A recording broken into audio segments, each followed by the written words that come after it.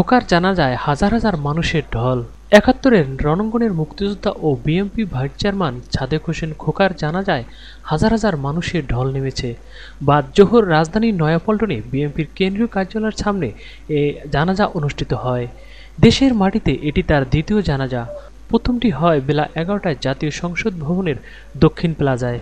অবিভক্ত ঢাকা সিটি কর্পোরেশনের শেষ মেয়র মুক্তিযোদ্ধা সাদেক হোসেন খোকার লাশবাহী কফিন রাজধানী নয়াপল্টনে বিএনপির কেন্দ্রীয় কার্যালয়ের সামনে নেওয়া হলে সেখানে কান্নায় ভেঙে পড়েন তার দীর্ঘদিনের রাজনৈতিক সহকর্মীরা।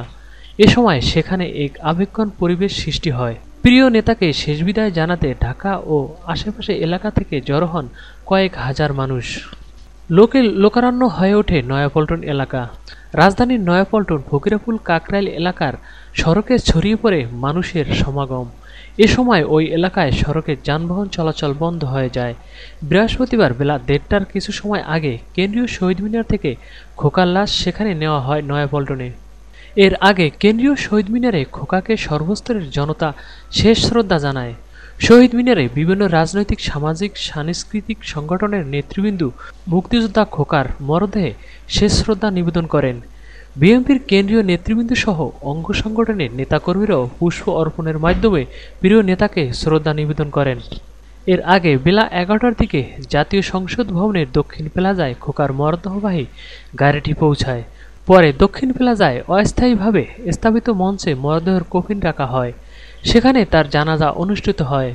জানাজার আগে বাবার রুহের মাগফিরাত কামনা দোয়া চান বড় ছেলে প্রকৌশলী ইসরাক হোসেন।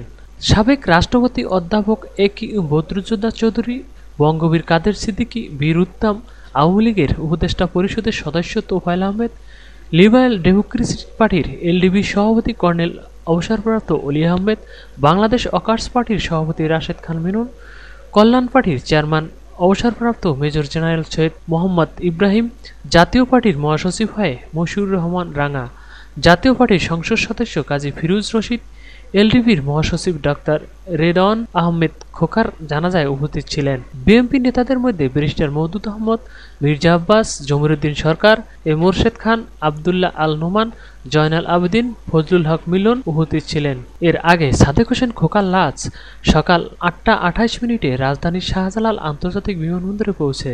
খোকার দীর্ঘদিনের রাজনৈতিক সহকর্মী বিএমপির স্থায়ী কমিটির সদস্য মির্জা আব্বাস ও ইকবাল হাসান মাহমুদ টুকু তার মরদেহ গ্রহণ করেন। বিমানবন্দর থেকে খোকার মরদেহ জাতীয় সংসদ ভবনে নেওয়া হয়। লাজবাহী গাড়িতে ছিলেন মির্জা আব্বাস।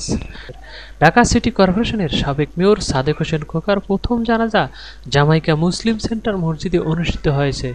জানাজায় যুক্তরাষ্ট্রের অবস্থানরত সর্বস্তরের বাঙালিরা অংশ নিয়েছেন। জানাজা শেষে তাকে গার্ড অব অনার দেওয়া হয়। বাংলাদেশ সময় বুধবার সকালে সাদেক হোসেন খোকার মরদেহ নিয়ে ঢাকার উদ্দেশ্যে রওনা দেন তার পরিবার।